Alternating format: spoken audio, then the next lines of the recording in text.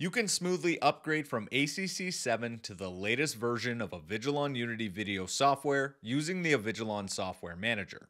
Here's how. While the Software Manager does preserve your configuration and data, it is advisable to create backups as a precautionary measure. For more information, watch our video on how to backup your site settings or read the Backup Site Settings article. Both are available in the description below. To get started, you'll need to download the software manager from avigilon.com forward slash software dash downloads. Depending on your security settings, you may need to copy the software manager to another drive to launch the installer. From the Select an Action screen on the software manager, click Install or Upgrade Applications. To view what is new in Avigilon Unity Video, click View Release Notes. To select a different version of Avigilon Unity Video, click the version drop-down list select the version you wish to install, and click OK to accept the risk of installing an older version.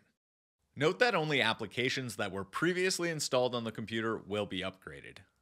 Click the Camera Firmware tab, and then select the required firmware.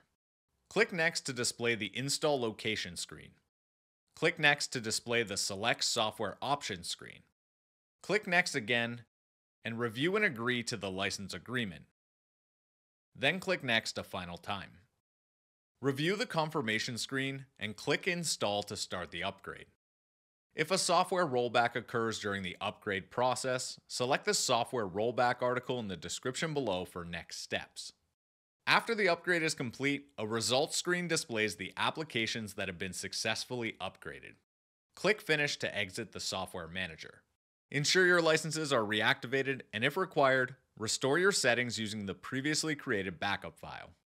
To learn more about upgrading to Avigilon Unity Video, click the link in the description below or visit docs.avigilon.com.